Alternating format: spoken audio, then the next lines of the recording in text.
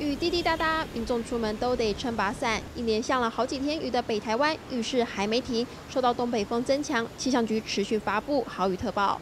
受到东北风增强的影响，因此在迎风面的北部、东半部都还是会有短暂雨的情况。那尤其是在呃基隆北海岸以及新北的山区，还有宜兰地区，哦，在今明两天呢，可能有机会哦出现局部大豪雨的情况。迎风面的北部、东北部都要慎防较大雨势，一直要到周五雨势才会趋缓。接下来要特别关注的是菲律宾东方海面上的热带性低气压，在周三、周四就可能发展成台风。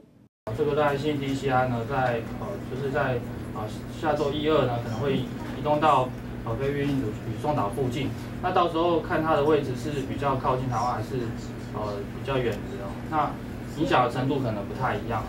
哦，就是有可能是受到它的外围云系影响。那除了在北部东半部都会有一些短暂雨之外，南部地区也会出现一些短暂雨的情况。目前预测路径将往吕宋岛以及南海方向移动，对台湾的影响还要再观察。不过秋台频频，就怕与东北风产生共伴效应，对台湾再带来致灾性的降雨。大家希望黄金庭吴国勋台北报道。